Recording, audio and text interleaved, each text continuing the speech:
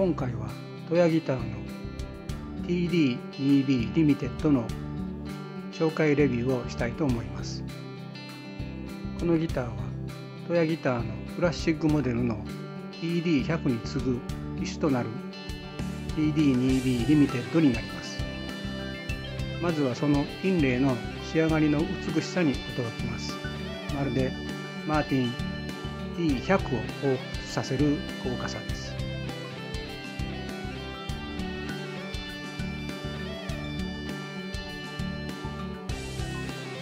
これがバッグです。大変綺麗なインレイが施されています。では細かな仕様を見てみましょ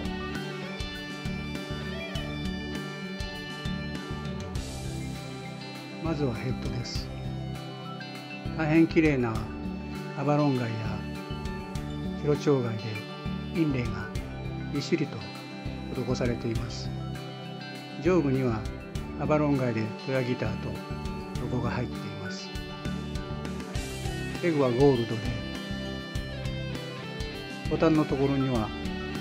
彫金で模様が入っている彫刻ペグがついています。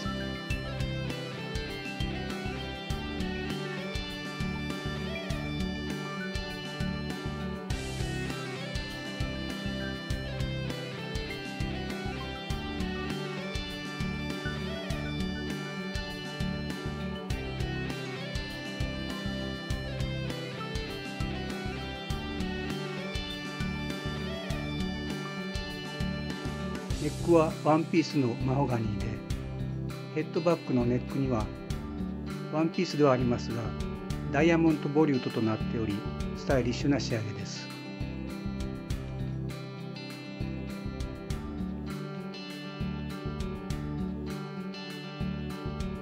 指板はエボニ指板全体に施された手が込んだ高精細のアバロンインレイが入っています。かなり緻密に入っています。綺麗です。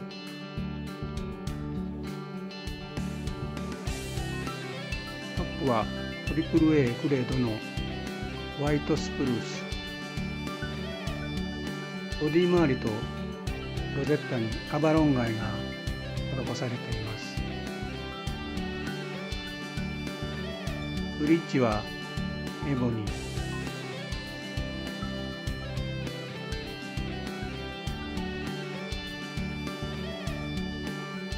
サドル、ナット、ブリッジピンは牛骨が使われています。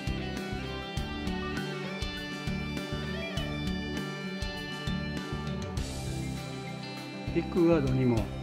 アバロン街で装飾されており大変見た目でも美しいギターとなっていますサイドとバックはサントスローズウッドでバイリングはもちろん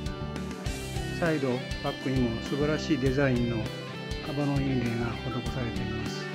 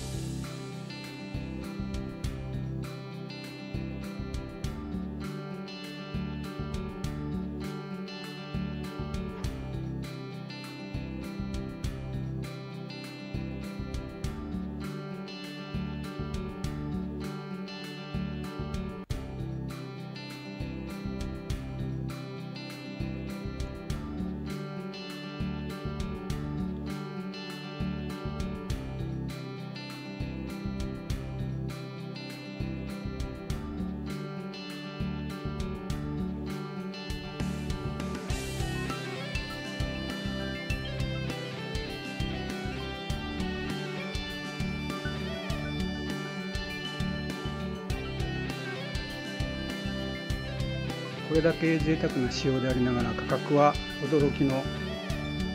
ハイコストパフォーマンスを実現しています。価格はトヤギターにあるブログにあるので最新の価格を確認してみてください。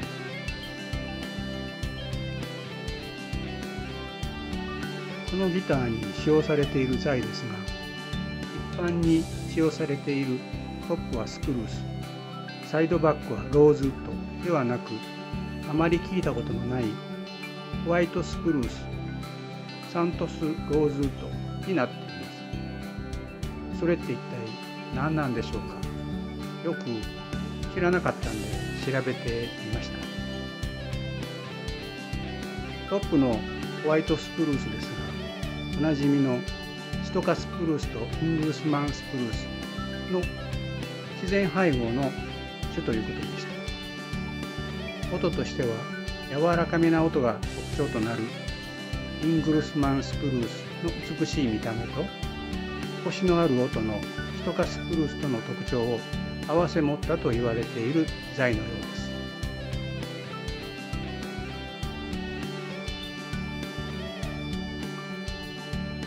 サイドバックで使われているサントスローズウッドはボリビアンローズウッドとかパーフェロパチュリアム属の材とのことでローズウッドのツルサイカチと全く違う別物とのことでハカランダよりも硬質で指板に採用されていることが多いようですが近年ローズウッドも枯渇し始めているとのことで各メーカーもローズウッドの代替として使われ始めているようです。しかしアカランダの木目のようなのでなかなか素晴らしいです。難しいことはさておいて肝心なのは音ですね。果たしてどんな音がするんでしょうね。硬質なサントスローズとコシのあると言われているホワイトスプルースの組み合わせの音大変気になりますね。どうなんでしょうね。では実際に音出しをしてみたいと思います。使用源はフォスパーブロンズのライト源に張り替えています。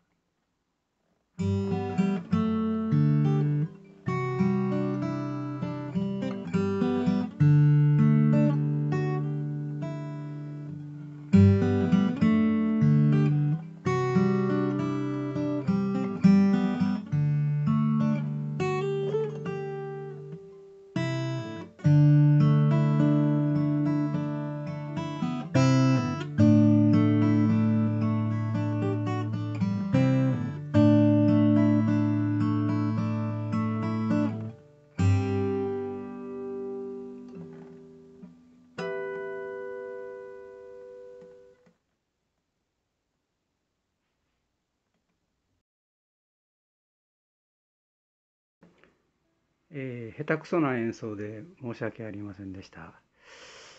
えー、一応あの音としてはこのような感じなんですけどまあ特徴としては心棒よりは低音は、えー、出ない感じですね。うん心棒はかなりの低音がね、えー、出るんですけども、えー、サントスローズとホワイトスプルースの組み合わせの特徴か分かりませんが低音域が少しうんどっちかというとカットされているような感じでうんその分ダイナミックレンジも少しうん狭いのかなという感じではありますけどもまああの一音一音音がねしっかり大きく出ますんで、えー、なかなかあの音の立ち上がりも良くて、えー、本当に前に出る音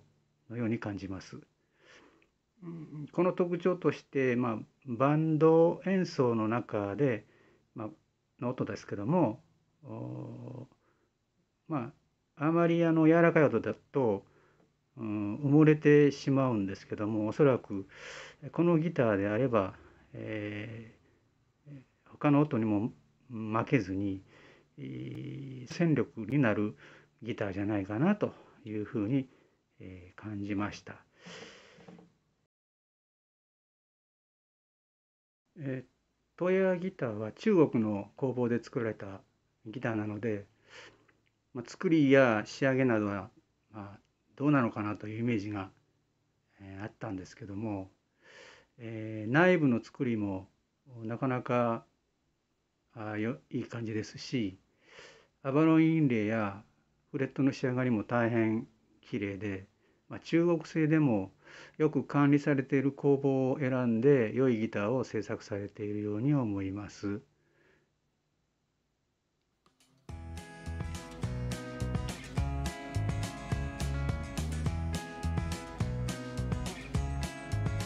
今後もアコースティックギターのレビューや各メーカーのギターを弾き比べそういうようなものもちょっと考えています、今回はエアギターのレビューをしてみました。参考になりましたでしょうか。ありがとうございました。